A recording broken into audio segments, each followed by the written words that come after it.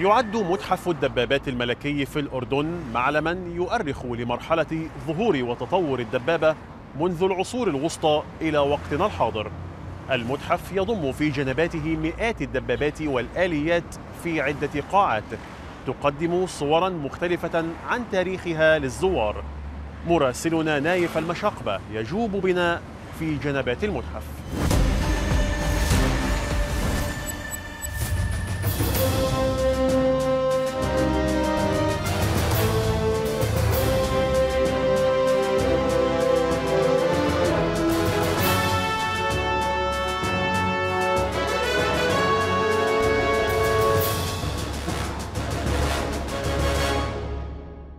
هذا هو متحف الدبابات الملكي في الأردن.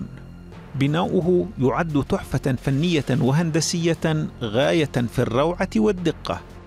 افتتح عام 2018 صمم هيكله الخارجي على شكل قلعة صحراوية منيعة. والمتمعن فيه جيدا يرى أيضا أنه يشبه الدبابة. نروي قصة الدبابة بعدة طرق عشان تتناسب مع أصناف الزوار اللي بيجوا للمتحف. فمثلا الطفل الصغير بيلاقي فيها إشي بيحاكي شغفه وإنه بده يستكشف إشي جديد. والمتقاعد العسكري بيلاقي فيه طبعا ذكرياته. والمواطن العادي بيستكشف وبيشوف عظمة التضحيات اللي تقدمت. وفي محيط المتحف مضمار لإقامة العروض العسكرية للمشاهدين. ولتعريفهم بكيفية عمل الدبابة فالمتحف رسالة تثقيف وتوثيق أيضا. آه، عدد الآليات العسكرية آه، من دبابات وآليات عسكرية بالضبط هم 147 دبابة داخل المتحف. وخارج المتحف عندنا ما يقارب العشرين آلية عسكرية ودبابة. إشي منهم للعرض وإشي منهم لل آه، آه، يعني العروض الحية. تركيزنا دائما بيكون على على النشء الجديد على الأطفال بحيث أنه يطلع الطفل من المتحف آه، يملك محتوى معرفي يساعد على تنمية وتعزيز انتمائه لهذا البلد. وداخل المتحف يشاهد الزائر موطنا حقيقيا للإرث العسكري الأردني والعالمي. كل ذلك من خلال خمس عشرة قاعة لكل منها قصة مع الدبابة. تروي فكرة نشأة الدرع مرورا بتصميم أول نموذج لآلة حربية للمصمم الإيطالي ليوناردو دافنشي. الزائر آه، آه، بيقدر يتعرف على الآليات العسكرية اللي خدمت في قواتنا المسلحة. وعلى آه، أنواع الدبابات من تاريخ مشاركتها في الحروب العالمية حتى تاريخنا الحاضر.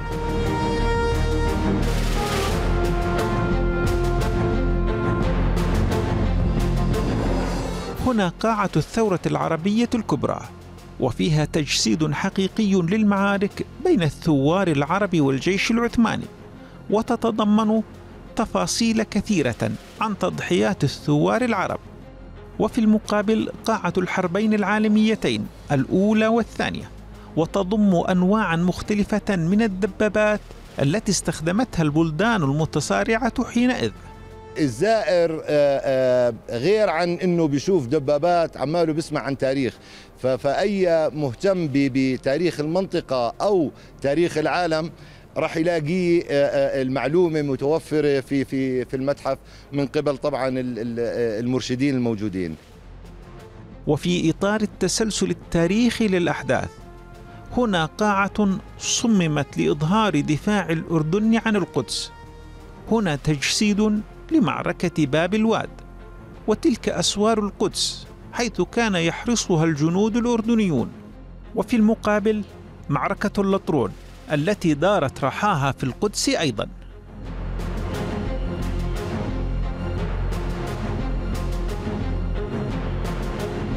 أما معركة الكرامة فلها خصوصيتها عند الأردنيين وخصصت لها قاعة تحاكي واقع المعركة بالفعل وهذه دبابات وآليات شاركت في المعركة وتلك غنائم حقيقية غنمها الجنود الأردنيون خلالها.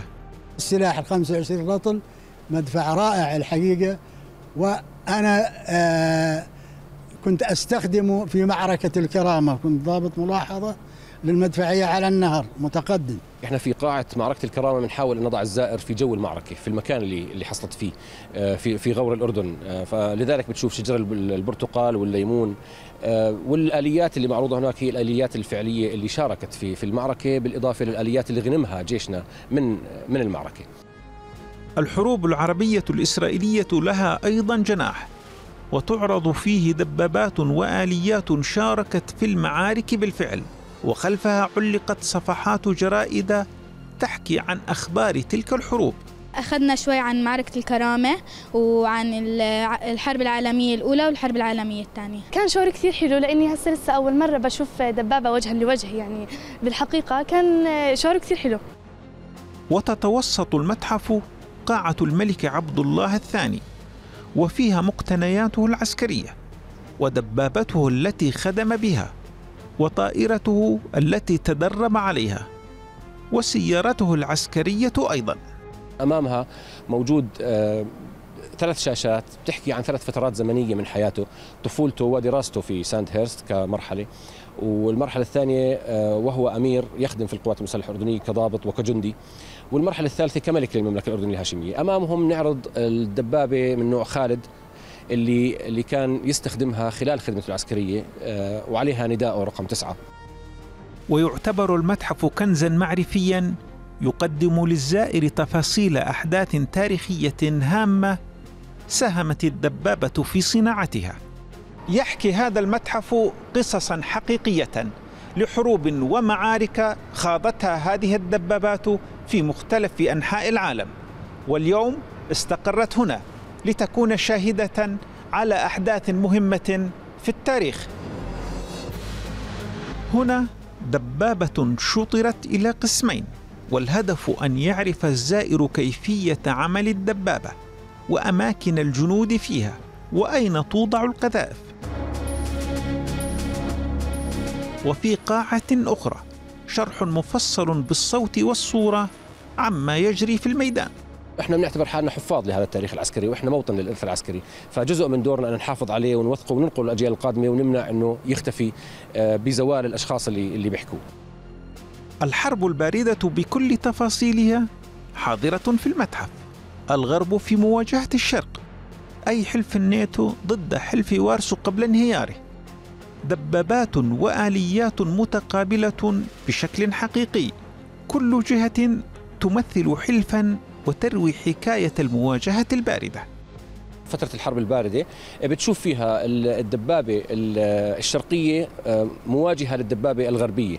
آه، المدافع مواجهة لبعض. آه، في محاولة لتصوير ال- الواقع اللي كان في هذيك الفترة قبل انهيار الاتحاد السوفيتي وفي عز يعني ال- ال- الصراع وسباق التسلح في الحرب الباردة. أيضا كمان السياسيين اللي يعني يعني منخرط في آه، الشؤون الحرب والسياسة متلازمان. والسياسيين هم من يقررون الحروب.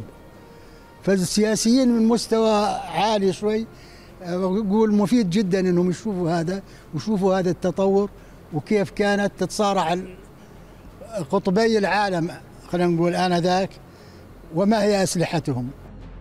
أما دكان الدبابات فيعرض هدايا وتذكارات يستطيع زوار المتحف شراءها في نهاية جولتهم للاحتفاظ بها.